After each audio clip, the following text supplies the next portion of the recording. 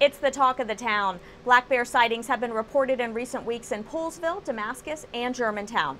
This photo was taken by a Damascus resident who spotted the bear as she was leaving her neighborhood. Just this week, Montgomery Parks officials posted two photos of a black bear running alongside a fence at Ridge Road Recreational Park in Germantown.